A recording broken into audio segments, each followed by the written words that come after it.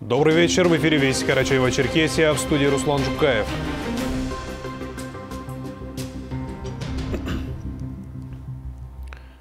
Сегодня глава Карачаева-Черкесии Рашид Тимрезов провел совещание, на котором подвели итоги работы правительства в 2022 году. Были поставлены цели и задачи на будущее. Об основных моментах встречи расскажет Альбина Ламкова.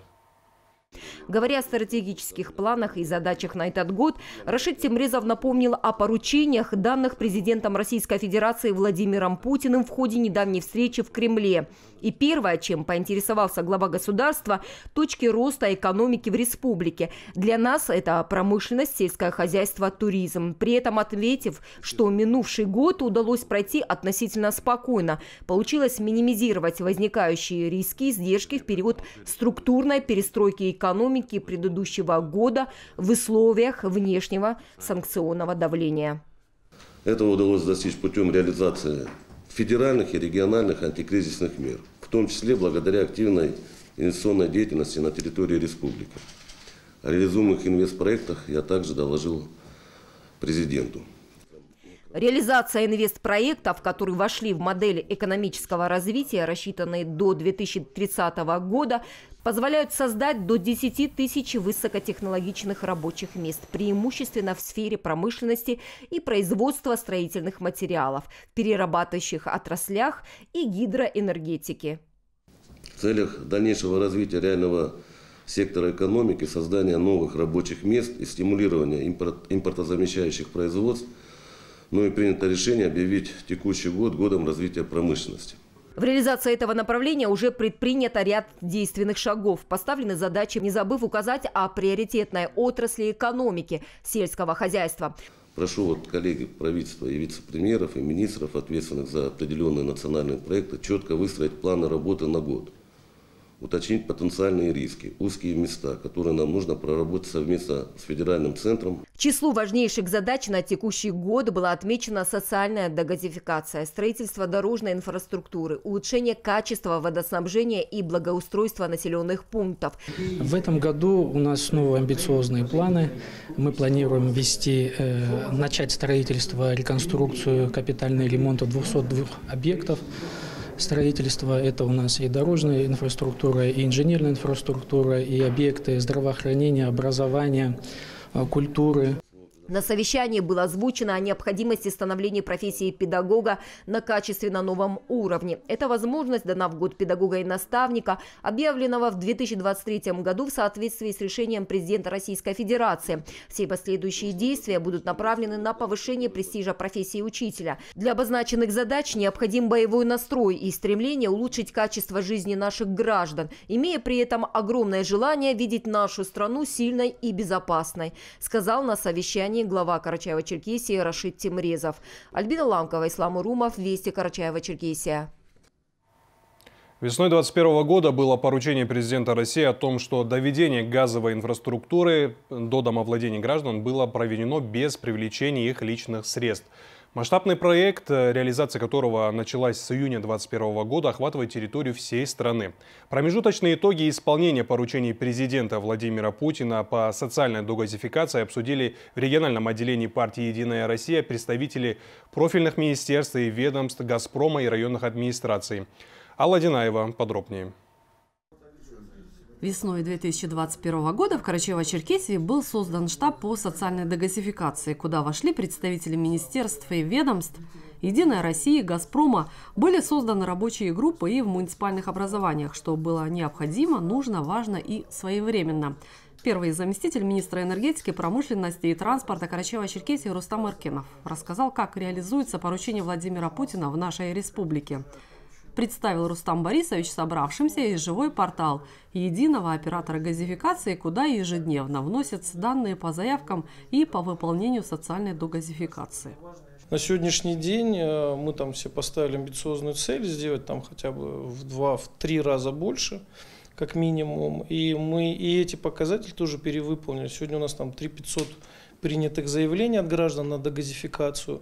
И уже доведение газоинфраструктуры до границы – это 2, почти 800 2800 домовладений. То есть от лучших показателей там, прошлых лет там кратно мы этот показатель увеличили. С лета 2021 года специалисты выезжали и проводили сходы граждан в районах республики, чтобы донести информацию до жителей.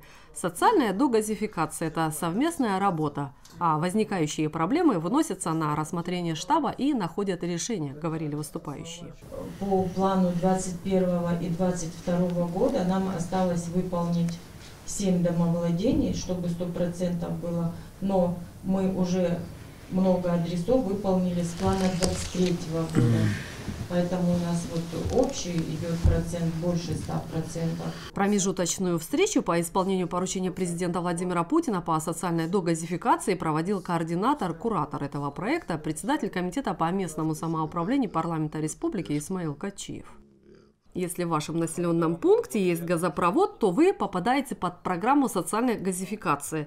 Все, что нужно, прийти с правоустанавливающими документами в «Газпром» или в МФЦ и подать заявку. После того, как ее примут, специалисты «Газпрома» выезжают и проводят техническое обследование, и в течение месяца с вами должны заключить договор, в котором указывают, в какой срок вам проведут газовую инфраструктуру до вашего дома. Программа газификации, да, там, где межпоселковые строятся – ну, оценочно у нас еще, если мы сейчас говорим про 5600 домовладений, которые вошли в программу, то в течение там, ближайших даже не года, а мы перспективу смотрим минимум пятилетнюю, потому что так легче планировать а объем работ. Там порядка 20 тысяч еще домовладений, которые предстоит проработать. Программа социальной дегазификации признана бессрочной, хотя изначально была рассчитана на два года. Алла Динаева, Расул Бердиев, Вести, Карачева-Черкесия. Сейчас прогноз погоды, а после мы продолжим выпуск. Не переключайтесь.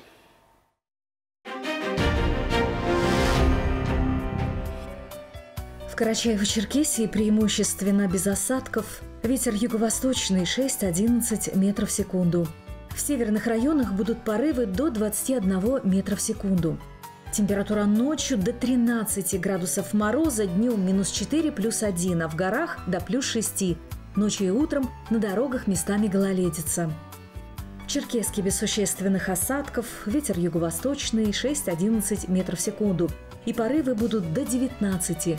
Температура ночью до 12 градусов мороза, днем минус 1, минус 3. Ночью и утром на дорогах гололедица.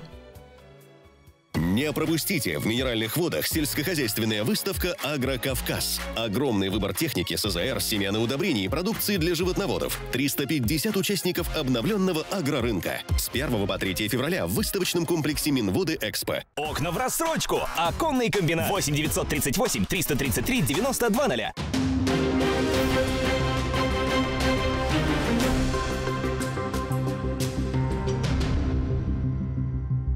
В Общественной палате республики состоялась встреча представителей ведущих СМИ республики и представителей, э, с представителем Союза журналистов России Владимиром Соловьевым. Он рассказал об особенностях работы журналистов в настоящее время, ответил на интересующие вопросы. Подробности у Али Баташева.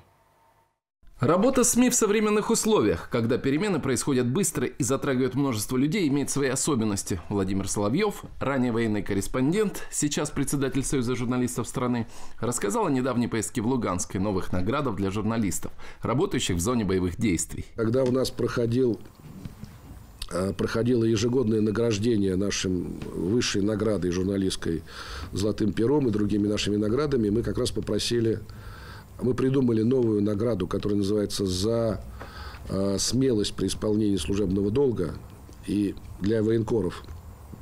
И вот наших лучших военкоров мы попросили чтобы награждали их председатель Союза журналистов Луганской и Донецкой республики, потому что они видят, как они там работают. Владимир Соловьев ответил на интересующие журналистов вопросы, в частности о том, как работать в условиях существующих ограничений в федеральном законодательстве. И те ограничения, которые сейчас приняты, они э, сделаны для того, чтобы не навредить нашим военным. И э, как только э, специальная военная операция будет закончена, э, союз журналиста будет настаивать на том, что эти, чтобы эти ограничения были сняты, естественно. Главный редактор газеты «День республики» Евгений Кратов задал вопрос о необходимости создания условий для повышения квалификации журналистов и других специалистов СМИ. Также журналистов интересовали новые форматы диалога между народом и властью с учетом особенностей менталитета региона. Есть такая, такой формат во многих регионах, э, например, вот такой планерки с губернатором, где садятся там руководители СМИ или журналисты, так сказать, известные в регионе, и просто рассказывают о проблемах, а рассказывают о том, чего не хватает. И это работает во многих регионах страны, в том числе в таких регионах, где есть особый менталитет. В завершении встречи на память о нашей республике Владимиру Соловьеву подарили ценный сувенир – кавказский кинжал. Али Баташев, Мухаммед Ашибоков, Вести Карачаева-Черкесия. Он начинал карьеру простым колхозником и заслужил самые высокие трудовые награды. Сегодня исполнилось бы 85 лет одному из самых ярких представителей Карачаева-Черкесии, советскому и российскому политическому и общественному деятелю, народному депутату СССР, председателю колхоза «Родина» Исмаилу Хачирову. О трудовом пути яркого человека в репортаже Мадины Каракетовой. Жизнь Исмаила Хачирова была яркой, как комета, наполненная важными событиями и неотложными делами. Он посвятил ее людям, служению своему народу и интересам многонациональной Карачаева-Черкесии. Исмаил, если так образно сказать, был подарком судьбы для нашей фамилии. Он заслужил своим трудом, своим бытом. Начиная с малых лет, вот по рассказам, э, знаю я, что он был, стремился хорошо работать. Рассказать о всех его достоинствах, личных и профессиональных, не хватит вашего эфирного времени, говорит Тохтар Хачиров, троюродный брат Исмаила Хачирова. Но одно несомненно, его жизнь – это яркий пример беззаветного служения Родине. Если вот в карачаевском народе был такой человек, который знал работу, жил интересами народа, наверное, он был один из этой категории людей – порядочный был человек этот самый. Мы долго дружили с ним, где-то лет, наверное, 10-15, пока он не скончался этот самый. Всегда с пониманием относились, когда появлялись проблемы для решения проблем народа, этот самый, вместе решали эти проблемы. Отец, он посвятил всю свою жизнь служению своему народу, в первую очередь работал председателем колхоза около 20 лет. Всегда мечтал принести пользу своему народу. И это, я считаю, ему удалось. Много он занимался проблемами своего народа, особенно вот по реабилитации, когда был народным депутатом СССР, посвятил основную часть своей депутатской деятельности именно реабилитации карачаевского народа. Отец нас воспитывал своим примером. В 1979 году Исмаил Хачиров был избран председателем колхоза «Родина» в Прикубанском районе, в котором он и начинал свою трудовую деятельность. Тогда он уже жил в селе Чапаевском. Под его началом применялись самые передовые технологии в развитии животноводства и растениеводства. Была создана, собственно, перерабатывающая отрасль, включавшая в себя 12 колхозных предприятий. Такого не было ни в одном другом районе Карачаева-Черкесии. Золотым временем были для села Чапаевское годы председательства Исмаила Хачирова, рассказывают местные жители. Директор Чапаевской средней школы Ачмес Малсуйгенов был свидетелем тех преобразований. Шесть раз наш колхоз и наше село было награждено красным знаменем Совета министров э, РСФСР за достижение, которое этот человек э, вместе со своими жителями сумел сделать и газ в селе, и вода, ну и стабильное автобусное сообщение, и асфальтовые дороги, и новые улицы, которые он для жителей. Село расширяется, по сей день расширяется. Вся жизнь Исмаила Хачирова отражена в книге под его же авторством «Дело всей жизни». За свою трудовую и общественно-политическую деятельность он множество раз был отмечен. В арсенале наград и знак почета в 1984 году, звание лауреат премии Совета министров СССР в 1989 году, орден Трудового Красного Знамени в 1991 году.